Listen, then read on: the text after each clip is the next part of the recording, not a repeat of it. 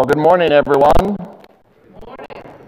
good to see that you're able to swim to church today as we gather together as God's people and worship the Lord Savior Jesus Christ. Offline or online, we welcome our, our folks who are watching on live stream and worshiping along as God's people. A few announcements, and then we will continue to enter into worship. Uh, first of all, uh, for those of you who are physically present here at the church, we do have different refrigerator magnets in celebration of Mother's Day. Ladies, by the way, a happy Mother's Day to each and every one of you. Uh, we have a variety of uh, refrigerator magnets at the west entrance, so please make sure you, you make use of those. Also, then, our high school graduate recognition Sunday will be next Sunday. We will have a reception between services, so make sure you show up a little bit early uh, to be able to participate in that. Also, after our worship service today, a tradition we've been having for a number of years now, and that is free family photos in the gathering area. So, if you would like to get a, a picture of yourself or your, your group, uh, family, please, we uh, welcome you to do so. It's always a lot of fun and very, very enjoyable. Final note, and that is we will be having our garage sale again this year. 120 some garage sale which is always the first Thursday of August. So if you have some stuff that you want to unload, and that would be good for um, the uh, church's garage sale, just bring it into the church and uh, take it to the storage room, north storage room, which is essentially under the altar uh, in the church basement. So make sure you do so. Again, that uh, ultimately will be the uh, first Thursday in that weekend in August. Uh, this is a fundraiser for our Kids Against Hunger Rice Kits project, which I think we have been doing for about 10 years or so now. And uh, that will be uh, participating in uh, this fall. We don't exactly have a date scheduled for that yet. Uh, we're waiting to see what the, the organization says. But always a, great, great uh, cause and experience as we put those kids together and help feed the hungry within our county, our country, and around the world. So, Sarah Kill, if you would uh, please come forward for our Mother's Day litany. Sarah is going to lead us. Uh, in this this morning, I invite the congregation to please stand and to look at uh, the first, your, the front page of your bulletin as we enter into worship. Mothers come in many different forms, and today we celebrate them all. Thank you for mothers. Everyone here is a son or a daughter. Thank you for my mother. For those women who have joined God in heaven and whom we miss dearly here on earth. Thank you, Lord, for the mothers of the past. For every woman who is working day and night to raise her child right now. Thank you, Lord, for the mothers of today. For all the women who are expecting but aren't quite mothers yet. Thank you, Lord, for the soon-to-be mothers. For the women who took in others' children through adoption and foster care. Thank you, Lord, for the mothers with hearts so big. For those women who have lost a child to death and must carry on. Thank you, Lord, for the mothers who are so strong. For all the women who have desperately wanted to have children of their own, but chose instead to be to mother everyone else. Thank you, Lord, for the mothers who are spiritual mentors. We thank you, Lord, for the women who have influenced our lives in so many ways. We pray that you will honor them in everything we do. Amen.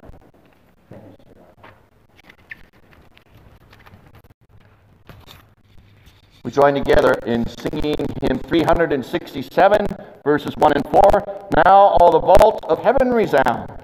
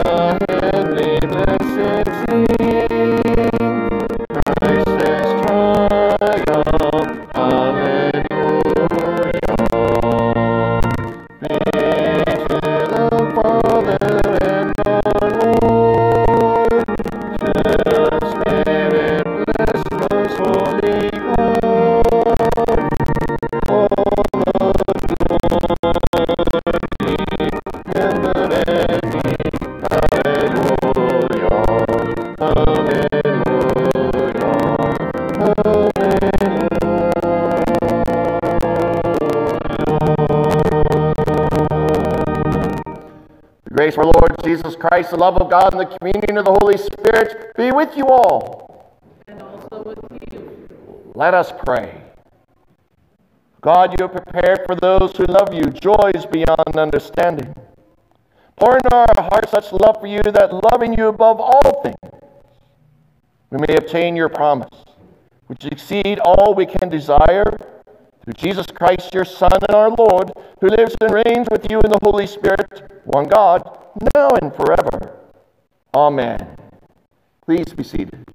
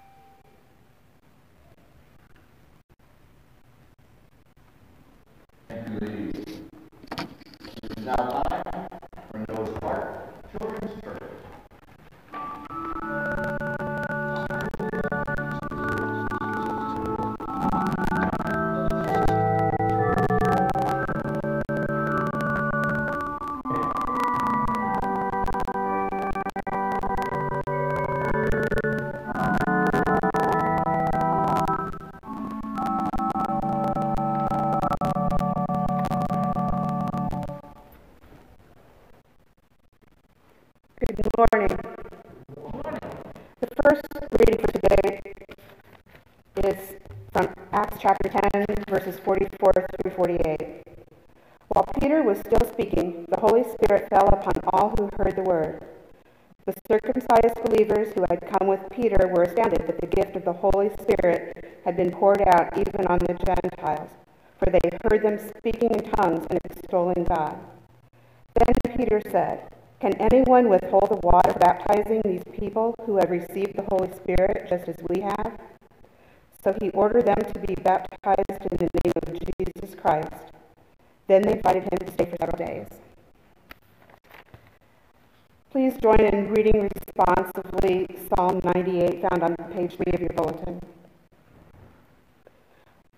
Oh, sing to the Lord a new song, for he has done marvelous things. His right hand and his holy arm have gotten him victory. The Lord has made known his victory. He has revealed his vindication in the sight of the nations. He has remembered his steadfast love and faithfulness to the house of Israel. All the ends of the earth have seen the victory of our God.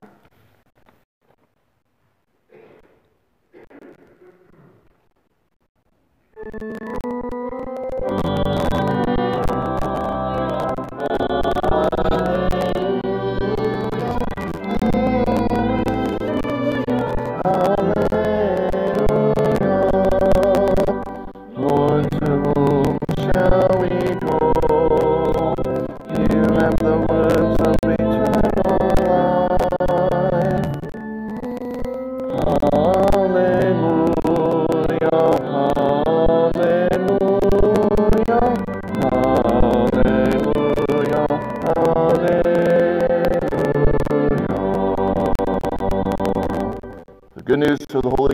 God's people, as it is written in the Gospel according to St. John, the 15th chapter.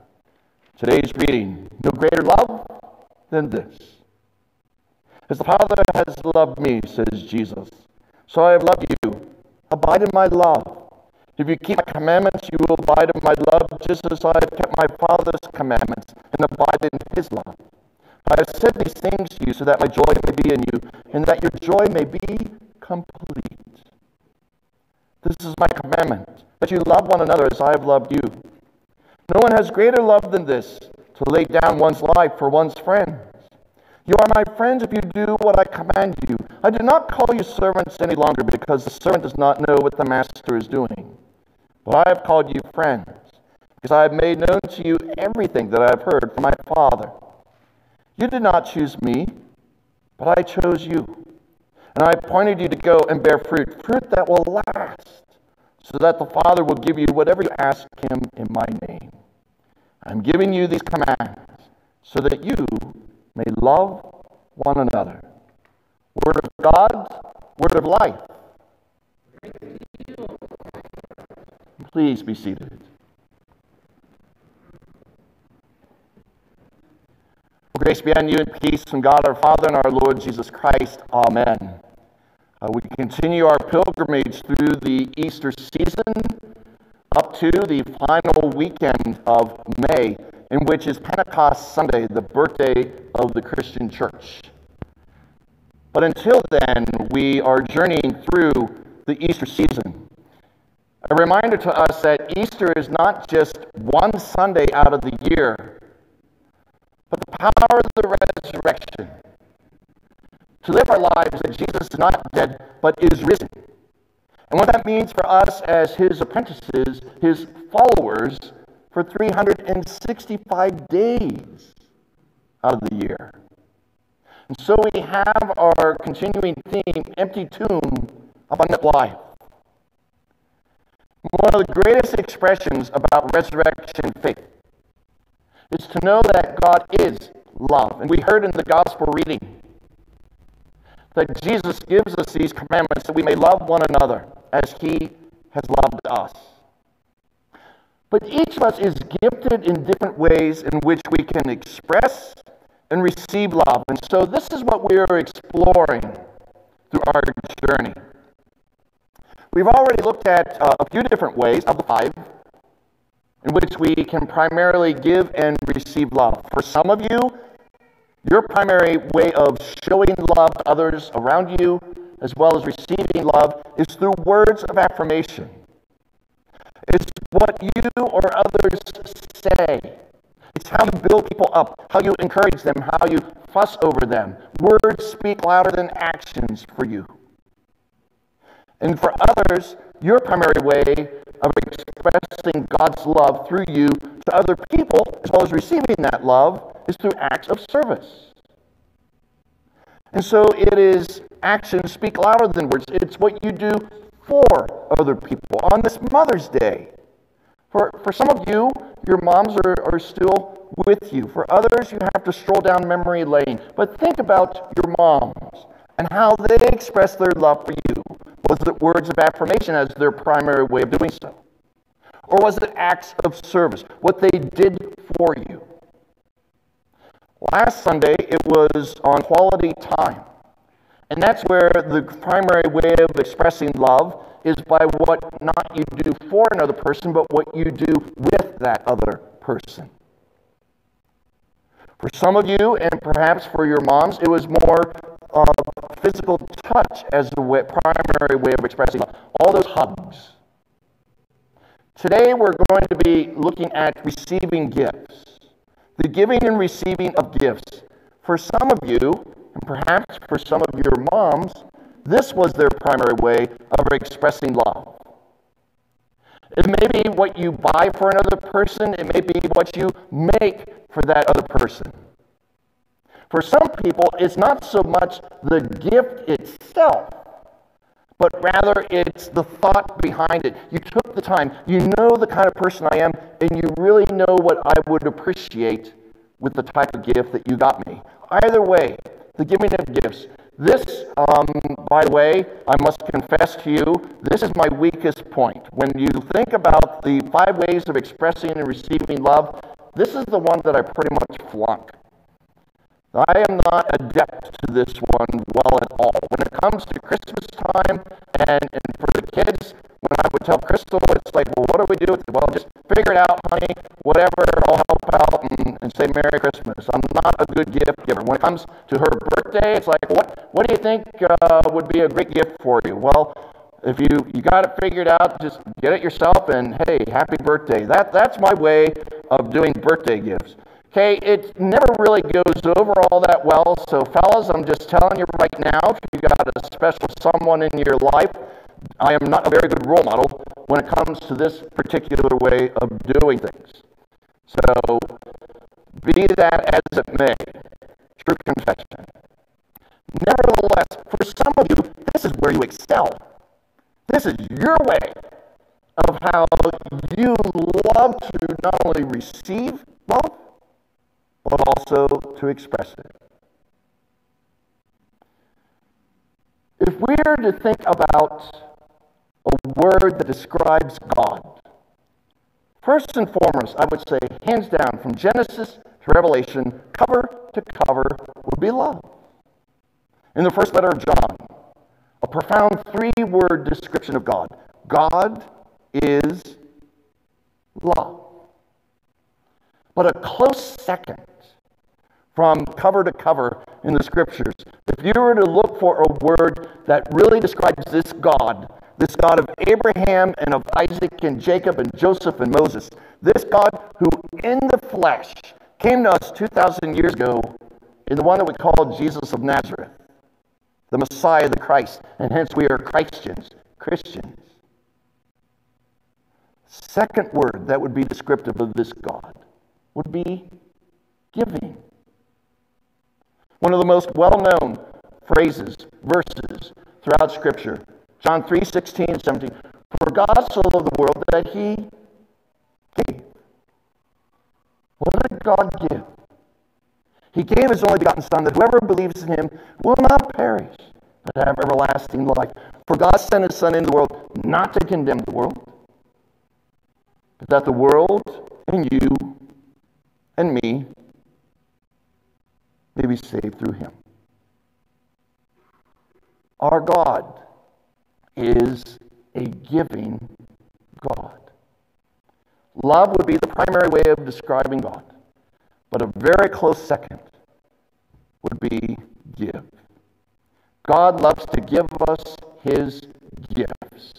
First and foremost, the gift of himself through Jesus,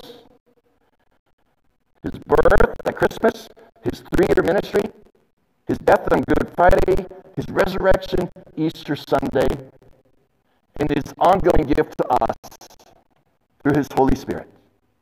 Gift that we receive through the sacrament of holy baptism, as we witnessed last Sunday with Dakota Nyheiser.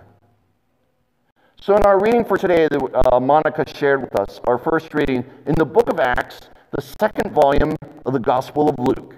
It's the same author. Luke wrote, The circumcised believers who had come with Peter were astounded. They were just absolutely floored, flustered, amazed that the gift of the Holy Spirit had been poured out even on the Gentiles.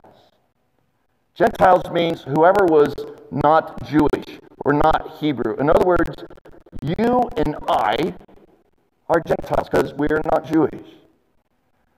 But the point here is God, who is a giving God, and one of the great expressions for giving and receiving love is the giving of gifts. God has given the gift of the Holy Spirit. You and I, as baptized followers of Jesus, we have this gift. Now, I got to admit that as Lutheran Christians, as Lutheran Christian followers of Jesus, when we think about the, our Trinitarian God, Father, Son, and Holy Spirit, this perhaps can be our weakest area. We do great. We bat close to a thousand when it comes to our expression of love and our understanding per se about God the Father, about God the Son, Jesus. But the Holy Spirit is the one that can really dodge us in getting a grasp of just who is the Holy Spirit and what is the function of the Spirit of God. And yet, this is a gift of love that God grants to his followers. The Holy Spirit, as the prophet Isaiah in the Old Testament would say, the spirit of wisdom and understanding, the spirit of counsel and might, the spirit of knowledge and the fear of the Lord, the spirit of joy in God's presence. And as the Apostle Paul wrote to his, the church in Galatia, he said, the fruit of the Spirit. We are called to bear fruit. And it's through the Holy Spirit then that we can produce the fruit of love and joy and peace and patience and kindness and generosity, faithfulness, gentleness, and self control. Now, some of that fruit within us, and it is great to do a fruit inspection uh, of ourselves as time goes on. What fruit are we bearing well? What is ripening? And what is rotting needs pruned and shored up that we can produce yet again. Would you please turn with me to your hymnal? Page 1162. This is right towards the back of your hymnal. We have the small catechism of Martin Luther, written almost 500 years ago. This is printed in the back of your hymnal. And on the Apostles' Creed, the third article or the third paragraph, we have what Luther wrote as a description of the Holy Spirit. That perhaps our, our comprehension, we may struggle with our understanding of the Holy Spirit, but yet is such a vital part of our faith as Lutheran followers of Jesus as disciples, apprentices of our Lord. So Luther, as we see in the Apostles' Creed, right towards the bottom where it says third article on being made holy, in other words, the big word is sanctification, we would just say quite simply, becoming more like Jesus each and every day. That's what it means to be holy. I believe in the Holy Spirit, the Holy Catholic Church, the communion of saints, the forgiveness of sins, the resurrection of the body, and the life everlasting. And of course, Luther's all famous question that he always likes to ask what does this mean? Let us proclaim this together, what Luther wrote about the Holy Spirit. Together, I believe that by my own understanding or strength, I cannot believe in Jesus Christ my Lord or come to him. But instead, the Holy Spirit has called me through the gospel, enlightened me with his gifts, made me holy, and kept me in the true faith, just as he calls, gathers, enlightens, and makes holy the whole Christian church on earth, and keeps it with Jesus Christ in the one common true faith. Daily in this Christian church, the Holy Spirit abundantly forgives all sins, mine and those of all believers on the last day, the Holy Spirit will raise me and all the dead, and will give to me and all believers in Christ eternal life. This is most certainly true. That's why God gives you and I the gift of the Holy Spirit. For it's through Christ's Spirit that we are drawn closer to Him. It's the Spirit of our God that shines the light on Jesus, of who we know we need to focus on. It's the Holy Spirit that we cannot earn or deserve, but rather is a gift. It's the power that we are called to plug into each day. On this Mother's Day, ladies, we want to thank you for the powerful witness that you continue to give in your daily life that you, as the vehicle of God's grace and love and mercy and gift, that you express your love, God's love, through you, through your witness, through your modeling of the faith, through your testimony. We are drawn closer to God in understanding who our Lord Jesus Christ is. And it's through you that you make a difference in Christ's creation. We're truly grateful for each and every one of you. And thanks be to God for the inexpressible gift that you have been blessed with. And your willingness then to share that gift of faith and hope and love with those who are around you. The giving and receiving of gifts may be your primary way of expressing God's love to others. Or it might be words of affirmation or acts of service. Maybe it's physical touch or spending of time. But either way, God is love and God is giving. And we are called to pass that on to others. May this coming week be a true blessing for you, that you can be a blessing to other people as well. In the name of the Father, the Son, and of the Holy Spirit. Amen. Let us rejoice and be glad.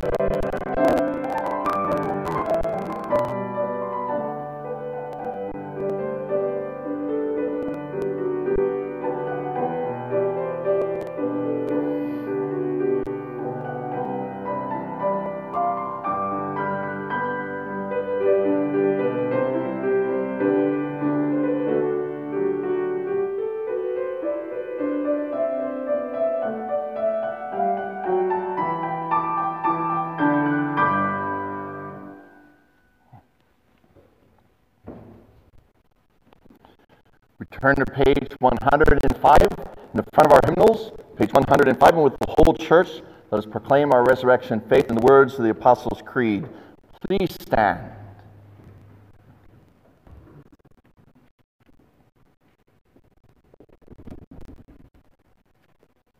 I believe in God the Father Almighty, creator of heaven and earth.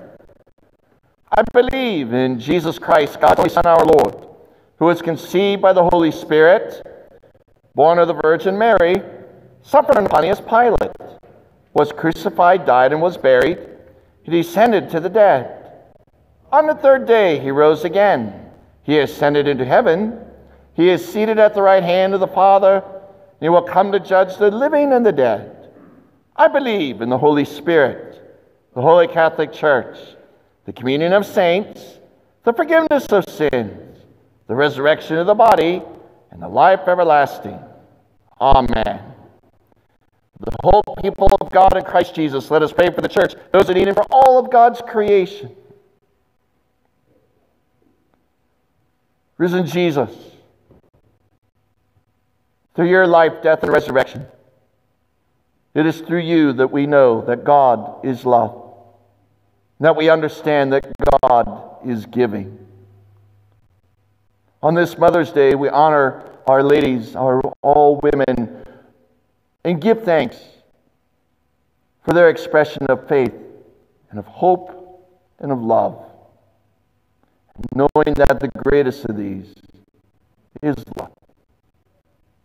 We pray on behalf of Pat Leland and Jeff Donor, of Jerry Pauline Bassino and Kenny Donor, of Bev Cordy and Corey Kleppel, of Linda Sink, Pauline Weldy, of Ted Adams, Jan Hoblet, Nancy Gardner, and Scott Etkin. So, Lord, help us to do what you are blessing as apprentices of Jesus to bring healing to this land and throughout your creation. Lord, in your mercy, into your hands, gracious God, we commend all for whom we pray, trusting in your mercy through Jesus Christ, our Savior. Amen. The peace of Christ be with you always. And also with you. Please extend God's peace to those who are around you at this time. Peace, Lord.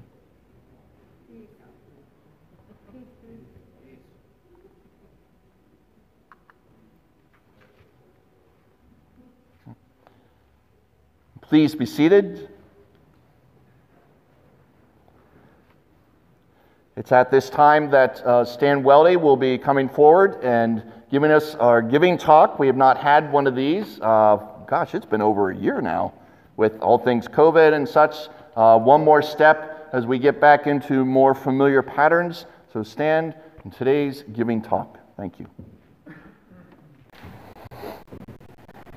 Good morning. Morning. Psalm 62, verses 1 through 2. For God alone my soul waits in silence. From him comes my salvation. He only is my rock and my salvation, my fortress. I shall not be moved. How often have we heard from Scripture the words, wait on the Lord, or be patient in the Lord? One definition of patience is to annoyance, misfortune, or pain without complaint, loss of temper, irritation, or the like.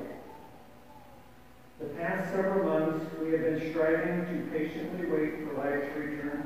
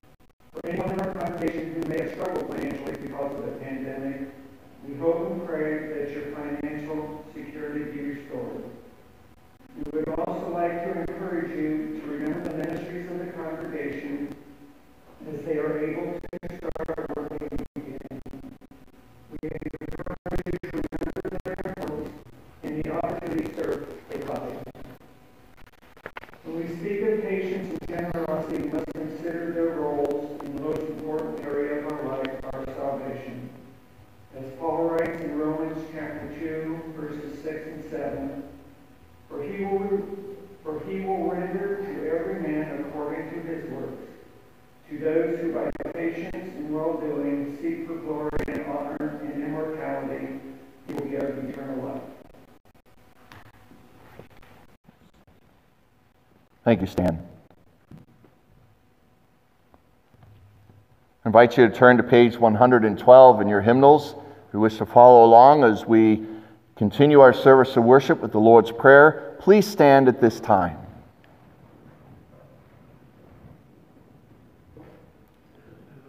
Lord, remember us in your kingdom and teach us to pray.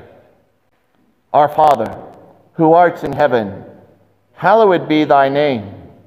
Thy kingdom come, thy will be done, on earth as it is in heaven. Give us this day our daily bread, and forgive us our trespasses, as we forgive those who trespass against us. And lead us not into temptation, but deliver us from evil. For thine is the kingdom, and the power, and the glory, forever and ever. Amen. Blessed and beloved people of God and members of his forever family, God has shown you what is good. And what does the Lord require of you but to do justice, to love kindness, and walk humbly with our God?